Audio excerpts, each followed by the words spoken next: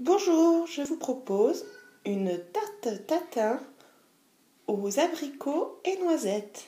Donc pour ça, il vous faut 100 g de sucre, 3 centilitres d'eau, une dizaine d'abricots que vous avez coupés ou une grosse boîte d'abricots en sirop, 50 g de beurre, 10 g de poudre de noisette, un rouleau de pâte brisée. Nous allons commencer par faire le caramel.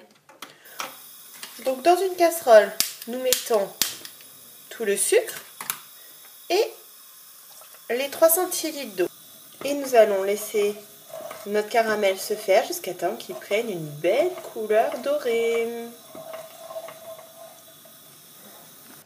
Donc voilà, mon caramel a pris une belle couleur.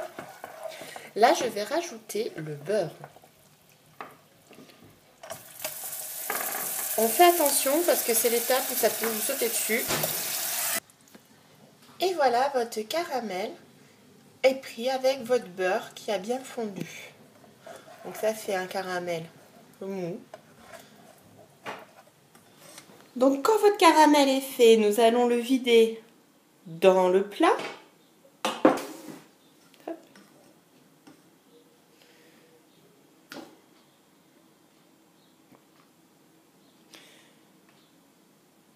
Et nous allons bien étaler partout.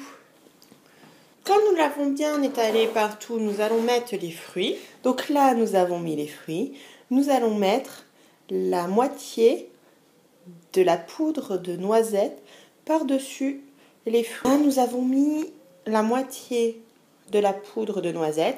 Nous allons faire préchauffer notre four à 200 degrés et nous allons mettre la pâte par-dessus. Comme vous l'avez sortie à l'avance, elle s'est bien déroulée. Là, nous allons la prendre et nous allons la mettre par-dessus la tarte. Voilà, j'ai mis ma, pâte par-dessus les fruits. Ça, fait, ça va faire la tarte tatin quand on va la sortir. Là, on va mettre pendant 25 minutes à 200 degrés pour la cuire. Et voilà ma tarte tatin aux abricots noisettes qui vient de sortir du four.